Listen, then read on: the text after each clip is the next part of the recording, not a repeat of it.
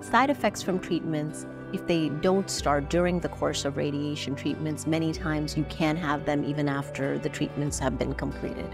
Generally, those side effects resolve within the first couple of weeks after completion of radiation treatments. There are some side effects, which we call um, long term side effects, depending on where in the body the treatments were done, that we look out for, you know, in subsequent scans and based on how you're feeling. And if those side effects occur, then we have follow up appointments to check in on you, but you can always reach out to us if there's anything that you're concerned about with regards to radiation treatments. But it is very common to experience the effects of radiation treatments up to seven to 10 days, sometimes even two weeks after the radiation treatment course has been completed.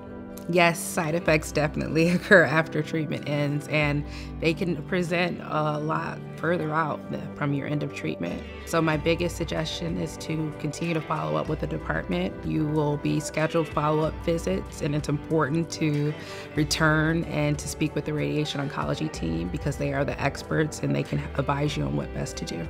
Well, it is. It's, it's important that any area that's affected by the radiation be covered up by a high SPF sun lotion if you're ever going to be out in the sun.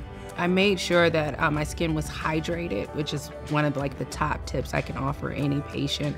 You will be provided a list of topical treatments that you can use that you can just buy over the counter, or if needed, you can get a prescription. So I would definitely um, pay attention to that and make sure that your skin is hydrated, and then always use SPF. So with regards to diet, in general, you know, if you have any specialized diets that were modified during the course of treatment, you may want to keep on that diet for oh, one to two weeks, see how your side effects are resolving, and then slowly return to a normal diet. And if it's not progressing the way you thought it would, please do reach out and you know we can understand better what the issues might be. I, I tell everybody that I actually feel better today mm. than I did 10 years ago prior to my treatments, I probably wasn't as healthy as I am today. I'm regularly exercising, uh, I'm watching my weight, I'm eating right. The silver lining to me to having cancer is that I really truly do live a much more healthy lifestyle today than I did before. So that has been a benefit.